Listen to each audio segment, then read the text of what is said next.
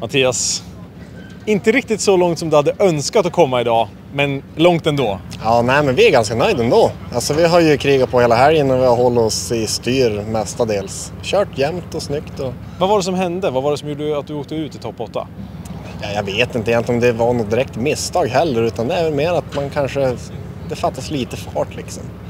Men då är du en av de snabbare skulle jag vilja säga i fältet och har varit i alla fall. Ja, men vi, vi åker ju oftast jävligt brett gör vi ju, och vi åker ju oftast djupt i zoner.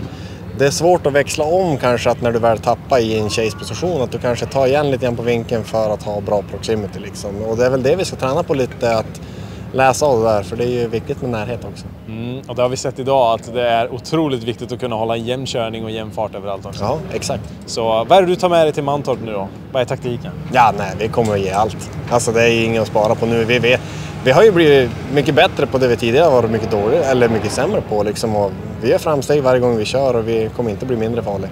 Då är det bara en tidsfråga när vi ser dig på podiet igen då. Absolut. Stort grattis för de poäng du fick ta med dig i alla fall den Ja. här tävlingen. Tusen tack.